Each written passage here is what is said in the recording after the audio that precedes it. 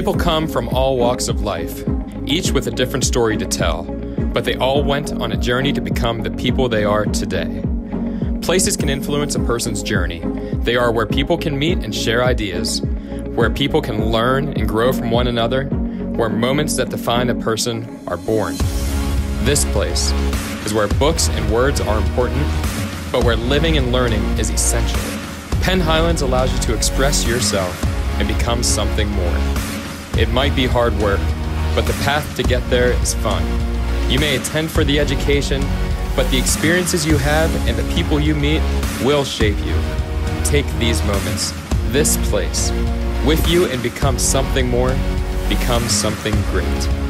Let us be a part of your journey. Discover you at Penn Highlands Community College.